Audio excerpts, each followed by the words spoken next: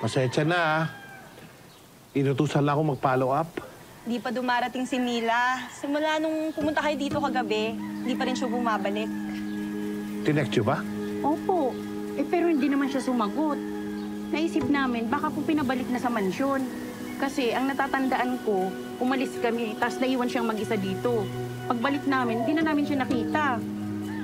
Ah, bit-bit niya ba lahat ng gamit o may naiwan siya? Parang wala naman kami nakitang naiwan niya dito. Salamat ah.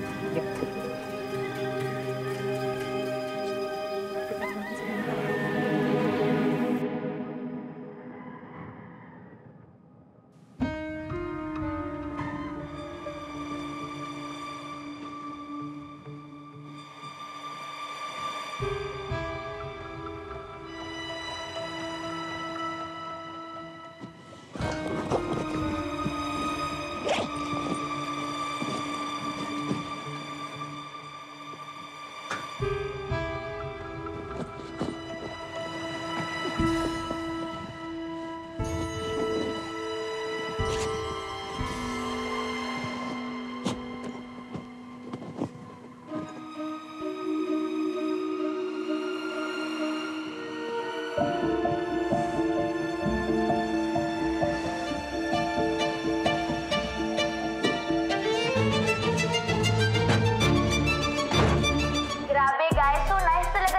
here. Hindi nyo matitikman yung ganitong flavor sa ibang milk tea shops. Um, this is my friend. He owns this milk tea shop. Sarap talaga. Tita Sa, Tita, milk tea! Punta kayo dito guys, so sarap here, promise. And matutuwa kayo, grabe yung ambience. Excuse me, ah. Guys, halika, this is my friend freshly picked from his backyard. Grabe, don't panic. It's organic. Grabe guys, ang sweet niya talaga. Sige guys, later na lang haahang muna kami. Bye-bye! bye. Thank you Ah, talaga. Tulit, yung bulaklak para sana kay ano eh. Kaya, Nako, yun na nga, Nico. Sorry, hindi ko kasi alam kung paano ko sasabihin. Ah, last minute kasi, pabago-bago kasi yung utak ko. Nalam naman ng arte-arte, hindi na siya pupunta. Eh, baka naman makakadaan pa siya. Eh, Ang daming milk tea yan, oh. Hindi natin mauubos. Teka, iti-text ko. Nico, ayaw kita ma-hurt. Pero you know naman, Kiara, she's my cause and I know her. Ang dami niyang kausap na guys. Iba't ibang stages. Actually, right now, she's on her date with one of her MUs. Parang hindi naman ganun si Kiara. Nico, yung mga ganong bait-baitan, pag nakilala mo, sila talaga yung maraming secrets. Pero yung mga kagaya ko, na open book, kami talaga yung mga nice, loyal, and honest. Ay, halika, papatikim ko sa'yo yung mga milk tea. Madaming flavor dito. Wait lang, tawagin ko yung friend ko. ah. Okay lang, wait lang tayo saglit.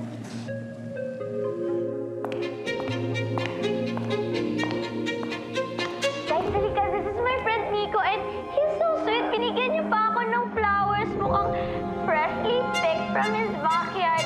Grabe, don't panic. It's organic. Grabe guys, ang sweet niya talaga. Sige guys, later na lang haahang muna kami. Bye-bye! Bye. Okay na, boss. Salamat po. Sige. Wait, thank you, Tonet, ha. Gusto ko sanang i-take out yun. Ang dami. Kaso wala namang kakain sa bahay. OMG, mag-isa ka lang. Sama na lang ako. Ah, ah, hindi, may dadaanan pa ako eh. Pero salamat talaga, Tonet. Ah, sige, ingat ka pa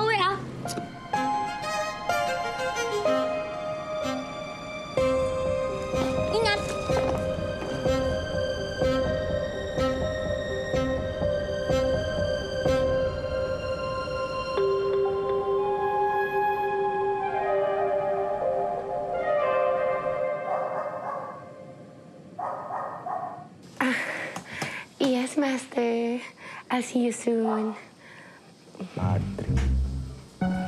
Hindi ko rin matrace kung saan huling nanggaling si Alex. May lakad tayo bukas ha, mag-ready ka. Magkikita kami ni Master. Ibig sabihin nun, lalandiin ko siya. Nang sa ganun, maidulas ko ngayon yung kay Leona.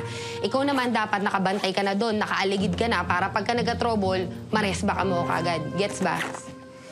Hmm, sige, gets. Ah, basta bilisan mo ah. Kasi tutulong ako kay tatay hanapin si Alexa. Dinidiskartehan ko nga, di ba? Bakit? Sa tingin mo ba hindi ako madidisgrasya doon sa pwedeng mangyari doon? Alexa ka ng Alexa. Ang pating pong tao. Nung napahama ka, di ba nag-alala din naman kaming lahat para sa'yo? Ako pa nga nag-alaga sa'yo eh. Bakit? Sinabi ko ba? Na hindi mo ko ang nalagaan? Wala namang ganun eh.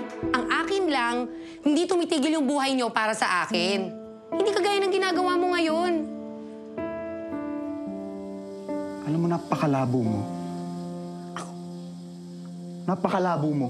Gumagawa ka ng issue, wala naman dapat eh. Tabi nga dyan.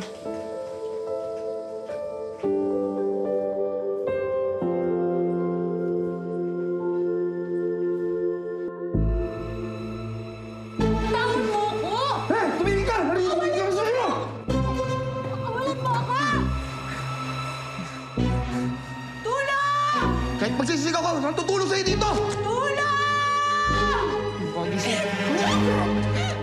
Aray! Yan, mabuti sa'yo yan. Ha? Yan, mabuti pa sa'yo. Nagkaroon ng katahimikan.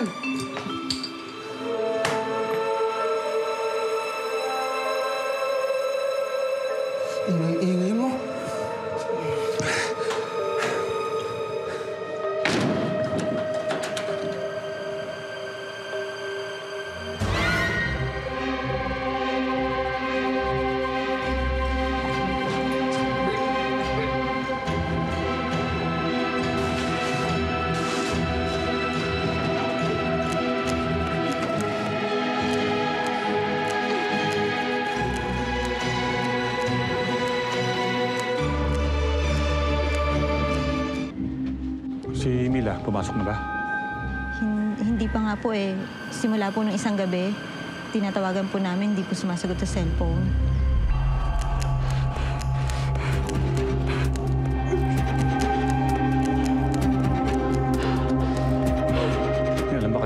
Problema si Mila? May kaaway o may atraso? Bakit parang kinakabahan kayo? Ano yun?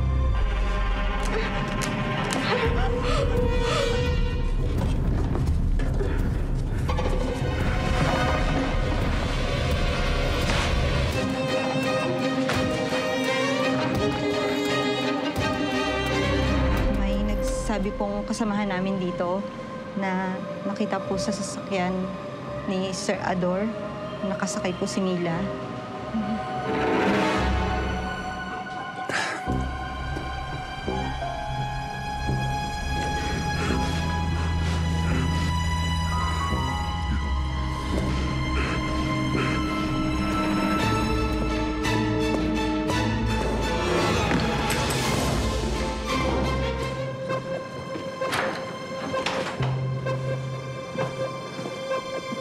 Ito pa rin phone ko.